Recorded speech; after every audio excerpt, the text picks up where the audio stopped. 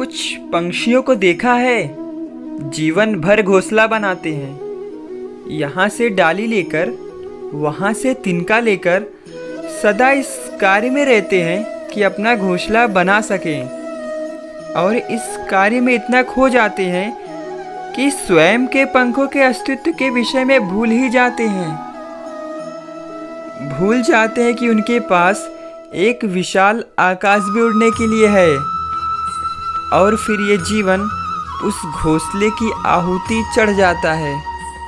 हम मनुष्यों के साथ भी यही होता है।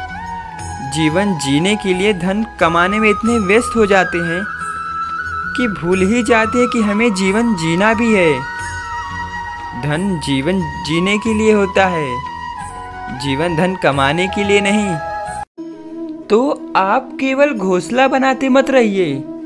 अपने पंख फड़फड़ाइए और उड़ान भरिए इस खुले आकाश में। और प्रेम से बोलते रहिए, राधे राधे।